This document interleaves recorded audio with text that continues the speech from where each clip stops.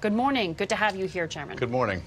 Uh, we saw this attack uh, that Secretary of State Pompeo says was a terror attack carried out by Iran in Saudi Arabia. What does U.S. intelligence show?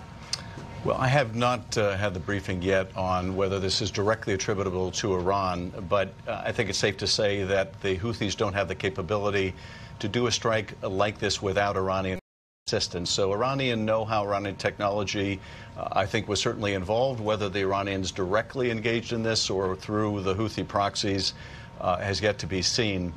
But I think it underscores uh, just what we really, frankly, came to expect from this unending war in Yemen, uh, that it would escalate tensions in the region. Uh, but also, our withdrawal from the JCPOA has led Iran to engage. The nuclear deal with Iran. Exactly. Has led Iran to engage in these escalatory tactics to drive us uh, apart from our allies, but also to increase Iranian leverage to uh, try to bring about an end to sanctions. Uh, do you think the president should withdraw his offer to sit down and begin talks with Iran? Uh, I think the president should engage in diplomacy with Iran. I think it's the only way out of this situation. Uh, I don't think, frankly, the president should have withdrawn from a nuclear deal that Iran was complying with. But we need to work with our allies to secure the Strait of Hormuz, to secure critical infrastructure in the region. But we do need to get back to diplomacy. Uh, and there are openings to do so. There are voices within Iran, unusual voices, including some arch conservatives suggesting it's time to start talking with the United States again. The administration should seize that opportunity.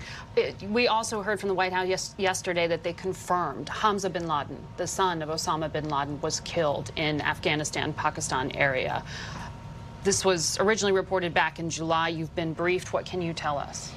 Well, he, he has been killed. Uh, good riddance. I think this is someone uh, of great symbolic value to Al Qaeda. Uh, How someone, was he killed? Uh, I can't go into the specifics more than what the White House has disclosed, uh, but it shows uh, they have acknowledged that this was in the AfPak region. It shows the continuing importance of that region to Al Qaeda. It, it also shows the importance of the region to us in terms of our security that we need to maintain uh, some footprint or some guarantee that Al Qaeda won't resurge in the area. Um, but he was not, I think, a leader, current leader of Al Qaeda in an mm -hmm. operational sense.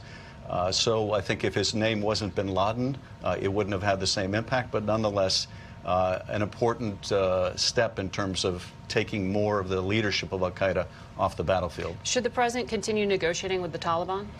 The president should. I don't think the negotiation should have been called off because of uh, ill-planned, ill-prepared uh, summit and it falling apart. Uh, at the end of the day, there's only going to be one way to resolve the conflict in Afghanistan. That's through negotiation. Uh, but we should uh, secure more than Taliban promises uh, in that negotiation in exchange for a, a drawdown of American troops.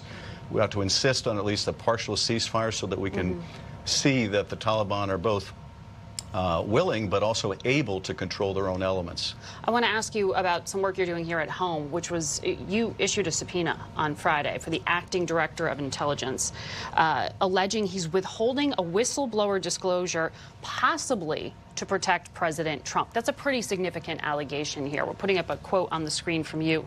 Have you gotten a response to this letter? We've gotten a response, and the uh, director has said essentially that he is answering to a higher authority uh, and refusing to turn over the whistleblower complaint. Um, this is deeply troubling. Um, no Just director, ignoring the subpoena. Uh, well, at this point, yes. Uh, ignoring the subpoena, ignoring our uh, request. Um, no DNI, no Director of National Intelligence, has ever refused to turn over a whistleblower complaint. And here, Margaret, um, the significance is the Inspector General found this complaint to be urgent, found it to be credible. That is, they did some preliminary investigation, found the whistleblower to be credible. That suggests corroboration. Uh, and that involved serious or flagrant wrongdoing. Uh, and according to the Director of National Intelligence, the reason he's not acting to provide it, even though the statute mandates that he do so, is because he is being instructed not to. That this involved a higher authority, someone above the DNI. Well, there are only a few people above the DNI. Uh, so we're concerned this area, this involves uh, wrongdoing that's under investigation by our committee. Uh, and we're going to do everything necessary to make sure that whistleblowers not allowed to provide the complaint to us, but can come directly to Congress, which the director is also prohibiting at this point. So you don't know, but you suspect the president has some role, or the executive branch here. Can you can you tell us what the subject was of the whistleblower complaint? I can't go into the contents, but I can tell you that, at least according to the director of national intelligence, this involves an issue of privileged communications. Now that means it's a pretty narrow group of people that it could apply to that are both above the DNI in authority and also involve privileged communications. So um, I, I, think it's fair to assume this involves either the president or people around him or both. Um, but at the end of the day, if mm -hmm. the Director of National Intelligence is going to undermine the whistleblower protections, uh, it means that people are going to end up taking the law into their own hands uh, and going directly to the press instead of the mechanism that Congress set to protect classified information. Uh, and that mm -hmm. gravely threatens both our national security as well as uh, a system that encourages people to expose wrongdoing. You're in leadership. Um, there seems to be confusion within the Democratic Party about whether or not there is actually an impeachment inquiry underway. Can you clarify? Uh, yes, we're doing an investigation that will ultimately determine whether the president should be impeached. Now, there are people. So there is an inquiry underway there's certainly investigation under, underway. And now, that, uh, this is about more than just message.